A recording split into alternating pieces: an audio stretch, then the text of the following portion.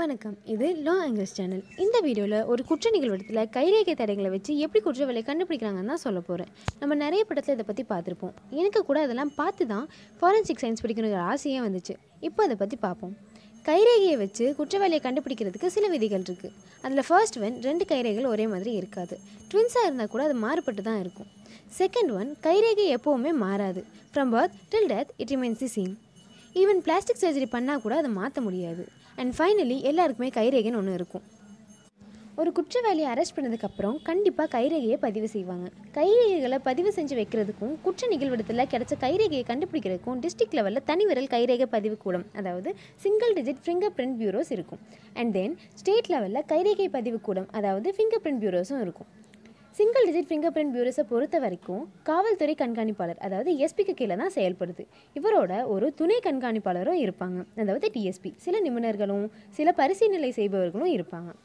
இங்கே அஞ்சு விரல் கைரேகைகளும் இருக்கும். சந்தேகத்துக்கு இடமாக இருக்கிற நபர்களோட கைரேகைகளையும் குற்றவாளின்னு நிரூபிக்கப்படுறவங்களோட கைரேகைகளையும் மாநில கைரேகை பதிவு கூடத்துக்கு அனுப்பி வைப்பாங்க. குற்ற நிகழ்விடத்தில் கலெக்டான கைரேகை பதிவான பொருட்களை கோர்ட் மூலிமா இந்த டிஸ்ட்ரிக்ட் பியூரோக்கு தான் அனுப்பி வைப்பாங்க.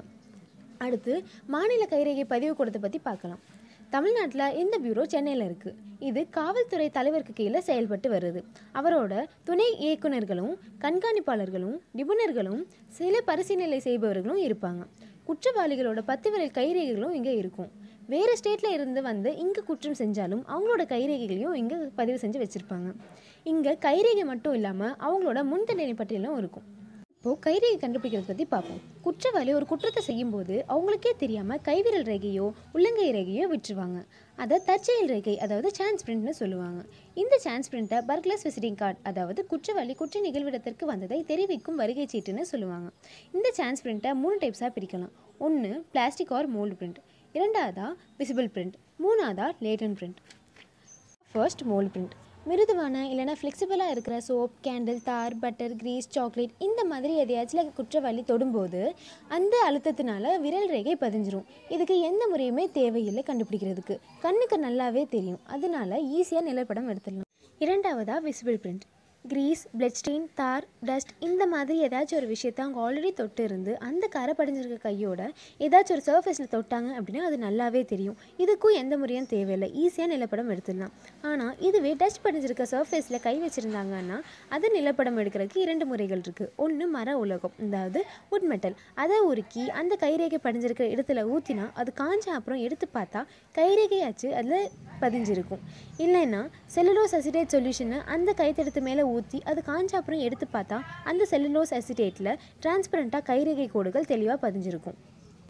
இப்போது மூணாவதாக லேட்டன் பிரிண்ட் ஹியூமன் செட்டோட கண்டென்ட் நைன்டி நைன் பர்சன்ட் தண்ணீரும் zero point one percent யூரியாவும் fat and amino acid zero point four percent and sodium chloride and other soul zero point five பர்சன்ட்டும் இருக்கும். இதனால் கை மூலியமாக ஒரு பொருளை தொடும்போது ஸ்வெட் பர்ஸில் இருந்து வர ஸ்வெட்னால எண்ணெய் பசை மாதிரி கைரேகை அதில் படிஞ்சிரும். எக்ஸாம்பிள் ஃபோன் டிஸ்பிளேயில் நம்ம கை வச்சா இது நல்லாவே தெரியும்ல? அந்த மாதிரி. ஆனால் சில சர்ஃபேஸில் இது கண்ணுக்கு புலப்படாது மறைஞ்சிருக்கும்.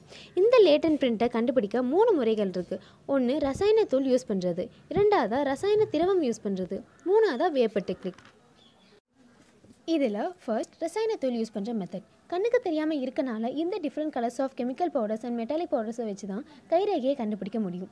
லைட் கலர் சர்ஃபேஸாக இருந்தால் டார்க் கலர் பவுடர்ஸும் டார்க் கலர் சர்ஃபேஸாக இருந்தால் லைட் கலர் பவுடர்ஸும் நிறைய கலர் இருக்க மாதிரி சர்ஃபேஸாக இருந்தால் ஒளிரும் தன்மையான பவுடர்ஸும் யூஸ் பண்ணணும்ன்ட்டு சொல்கிறாங்க different colours of chemical powders and metallic பவுடர்ஸில் ஸ்க்ரீனில் தெரியும். ஃபஸ்ட்டு கெமிக்கல் பவுடர்ஸ் லிஸ்ட் கருப்பு நிறத்தில் வேணும்னா graphite manganese dioxide lamp black charcoal இதெல்லாம் யூஸ் பண்ணலாம். நெக்ஸ்ட் சாம்பல் நிறத்தில் அதாவது கிரே கலரில் வேணும்னா லெட் கார்பனேட் யூஸ் பண்ணலாம். செம்மஞ்சள் நிறத்தில் வேணும்னா ரெட் லெட் ஆக்சைடு சிவப்பு காவி நிறம்னா ஃபெரிக் ஆக்சைடு வெள்ளை நிறம்னா titanium dioxide mixed white universal powders and then ஒளிரும் தன்மையோட வேணும்னா anthracene and uranyl phosphate use பண்ணலாம். இதே மெட்டல் பவுடர்ஸ் லிஸ்ட் வேணும்னா கருப்பு நிறத்தில் வேணும்னா அயன் பவுடர்ஸும் செம்பு நிறத்தில் வேணும்னா காப்பர் பவுடரும் சாம்பல் நிறத்தில் வேணும்னா அலுமினியம் பவுடரும் பொன் நிறத்தில் வேணும்னா பேல் கோல்ட் லைனிங் பவுடரும் வெள்ளை நிறத்தில் வேணும்னா ஒயிட் லெட் பவுடரும் யூஸ் பண்ணலாம்.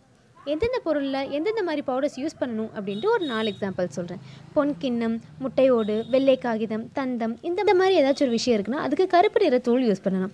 மேக்னீஸ் டை ஆக்சைடு இதே கிளாஸு டேபிள் லாக்கு வெள்ளி குவலை அலுமினியம் பாத்திரங்கள் இல்லை எவர் சில்வர் இந்த மாதிரி இருக்குன்னா டைட்டானியம் டை ஆக்சைடு யூஸ் பண்ணால் அது கிரே பவுடர். இதே வாழை இலையில் இருக்குது அப்படின்னா கார் காப்பர் பவுடர் யூஸ் பண்ணலாம். இதே மனித உடலில் இருக்குது ஹியூமன் பாடியில் இருக்குன்னா லெட் கார்பனேட் யூஸ் பண்ணலாம்.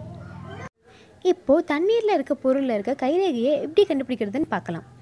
கிணத்துலையோ இல்லை தண்ணி தொட்டிலையோ இருக்க தண்ணியில் ஏதாச்சும் ஒரு பொருள் இருக்குது அதில் ஏதாச்சும் கைரகை இருக்குது அப்படின்னா ஃபஸ்ட்டு அதை கைப்படாமல் எடுத்து காய வச்சு காஞ்சதுக்கப்புறம் அதில் மேக்னீஸ் டை ஆக்சைடு அதாவது கருப்பு தூளோ இல்லை வந்து கிரே பவுடரோ போட்டு பார்த்தோன்னா கைரகை வந்து நல்லா புலப்படும். நான் ஆல்ரெடி சொன்ன மாதிரி ஸ்வெட்டில் ஃபேட் கண்டென்ட் இருக்கனால எண்ணெய் பிசுகு மாதிரி அதில் பதிஞ்சிருக்கும். அதனால தண்ணியில் கைரேகை அழியாது. ஆனால் ஓடுற தண்ணியில் அழியாமல் இருக்கிறது கொஞ்சம் கஷ்டம்தான். சாதாரணமாக படத்துலலாம் செலோடேப் வச்சு தானே எடுப்பாங்க. நீ என்ன சொல்லவே மாட்டாத அப்படின்னு யோசிக்கிறீங்களா? அது வந்து லிஃப்டிங் மெத்தட் லிஃப்டிங் மெத்தட் பண்ணுறதுக்கு கைவிரல் ரேகை இருக்கும் அப்படின்னு சந்தேகப்படுற இடத்து மேலே ஃபஸ்ட்டு கலர் பவுடர்ஸை தூவணும். கலர் பவுடர்ஸ் தூவினதுக்கப்புறம் செலோடேப்பை எந்த சுருக்கமோ இல்லை காற்று குமிழிகளோ இல்லாத மாதிரி அந்த கலர் பவுடர்ஸ் மேலே ஒட்டி எடுத்தோம் அப்படின்னா ரிஜஸ் வந்து ரொம்ப தெளிவாக தெரியும். அந்த ரிஜஸை நிழற்படம் எடுக்கிறதுக்கு அந்த கலர் பவுடர்ஸ்க்கு ஆப்போசிட் கலரில் இருக்க ஏதாச்சும் ஒரு அட்டை மேலே ஒட்டணும் அப்படின்னா கைவிரல் ரேகை ரொம்ப தெளிவாக தெரியும். இதுவும் நிலப்படம் எடுக்கிறதுக்கு ஒரு மெத்தட் தான். அடுத்து ரசாயன திரவம் அதாவது கெமிக்கல் சொல்யூஷன் மெத்தட் இதில் ரெண்டு ப்ராசஸ் இருக்குது ஒன்று சில்வர் நைட்ரேட் ப்ராசஸ் இன்னொன்று ninhydrin method first silver nitrate ப்ராசஸை பார்க்கலாம். இந்த சில்வர் நைட்ரேட் ப்ராசஸில் துணி காகிதம் பத்திரம் இந்த மாதிரி ஏதாச்சும் ஒரு விஷயத்தில் கைரகை இருக்குது அப்படின்னா அதை கண்டுபிடிக்கலாம். இப்போ எக்ஸாம்பிள் பத்திரம்னு எடுத்துக்கலாமே. பத்திரத்தில் கைரகை இருக்குது அதை கண்டுபிடிக்கணும் அப்படின்னா டூ பர்சன்ட்லேருந்து டென் பர்சன்ட் வரைக்கும் சில்வர் நைட்ரேட் சொல்யூஷனில் ஃபஸ்ட்டு அந்த பத்திரத்தை நிலச்சி எடுக்கணும். நிலச்சி எடுத்ததுக்கப்புறம் இருட்டறையில் அதாவது நிழற்படம் இருட்டறை இருக்கும் இல்லையா அங்கே வந்து வைக்கணும்.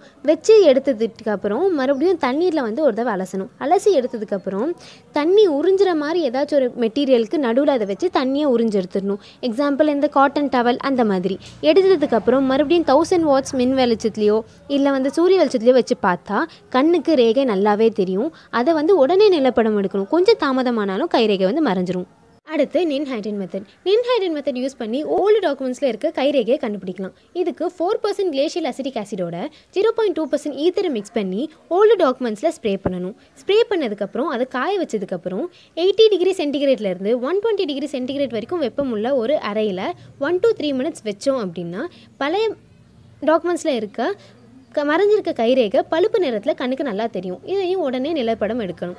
நின்ஹைட்ரின் மெத்தடில் பத்திரத்தில் இருக்க எழுத்துக்கள் வந்து அழியாது. ஆனால் சில்வர் நைட்ரேட் முறையில் பத்திரத்தில் இருக்க எழுத்துக்கள் அழியிறதுக்கு வாய்ப்பு இருக்குது அடுத்து வேப்பர் மெத்தட் அதாவது அயோடின் ஃபிமிங் மெத்தட் இந்த மெத்தட் யூஸ் பண்ணி சுவர் பேப்பர் லெதர் இந்த மாதிரியான விஷயங்களில் இருக்க கைரேகையை கண்டுபிடிக்கலாம். இதுக்கு முதல்ல ஒரு கண்ணாடி குழாயில் கால்சியம் குளோரைடையும் அயோடினையும் போட்டு ஹீட் பண்ணணும். ஹீட் பண்ணதுக்கப்புறம் ஒரு காற்றோட ரப்பர் குழாய் மூலியமாக காற்றை ஊதணும். காற்றை ஊதும்போது அந்த வெப்பமடைஞ்ச காற்று கால்சியம் குளோரைட் வழியாக வெளில வந்து மறுபடியும் அயோடினோட ரியாக்ட் ஆகி வெளில வரும்போது வைலட் கேஸாக வெளில வரும். அந்த வைலட் கேஸ் ஸ்வெட்டில் இருக்க ஃபேட்டோட ரியாக்ட் ஆகும்போது பழுப்பு நிறத்தில் தெரியும். அப்போது கைரேகை நல்லாவே கண்ணுக்கு புலப்படும்.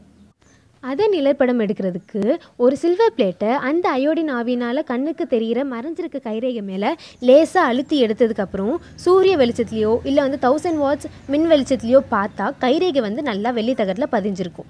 அந்த நிலப்படத்தை வந்து பெர்மனெண்ட் ஆக்கிறதுக்கு பொட்டாசியம் புரோமைட் ஃபிஃப்டி கிராம்ஸும் கால்சியம் குளோரைட் ஹாஃப் அவுன்ஸும் தண்ணீர் வந்து நாலு அவுன்ஸும் எடுத்து அந்த ரேகை இருக்கும் இடத்துல தெளிச்சோன்னா மறைந்திருக்க ரேகை வந்து நீண்ட நாள் வந்து நிலைச்சிருக்கும். அழியாது அப்படின்னு சொல்கிறாங்க கடைசியாக ஹியூமன் ஸ்கின்ல இருக்கிற கைரேகையை கண்டுபிடிக்கிறதுக்கு ஒரு மெத்தடையும் சொல்லிடுறேன். இது டிஃபிகல்ட் மெத்தட்னு சொல்கிறாங்க ஹியூமன் ஸ்கின்ல கைரேகையை ரேடியோகிராஃபி மெத்தட் மூலிமா கண்டுபிடிக்கலாம். இதுக்கு டெவலப்பிங் ஏஜென்ட்டாக ரேடியோ ஆக்டிவ் சப்ஸ்டன்ஸ் இல்லைனா எக்ஸ்ரேவை யூஸ் பண்ணுவாங்க. இதை கிரென்ஸ் ரேட் டெக்னிக்னு சொல்கிறாங்க இந்த டெக்னிக் யூஸ் பண்ணி ஃபிலிமில் ரிச் பேட்டர்ன் வந்து டெவலப் ஆகும். ஹியூமன் பாடியில் இது மூலயமா மட்டும்தான் கைரேகை கண்டுபிடிக்க முடியுமா அப்படின்னு கேட்டால் இல்லை. இதுக்கு ரசாயன தூள் முறையில் லெட் கார்பனேட் யூஸ் பண்ணியும் ஹியூமன் பாடியில் இருக்க கைரேகையை கண்டுபிடிக்கலாம். இந்த மெத்தட்ஸ்லாம் யூஸ் பண்ணி தான் ஒரு குற்ற நிகழ்விடத்தில் குற்றம் செஞ்ச குற்றவாளி யாருன்னு ஃபாரன்சிக் டிபார்ட்மெண்ட் கைரேகையை வச்சு கண்டுபிடிக்கிறாங்க. இந்த வீடியோ உங்களுக்கு புரிஞ்சிருக்குன்னு நினைக்கிறேன். தேங்க்யூ ஃபார் வாட்சிங்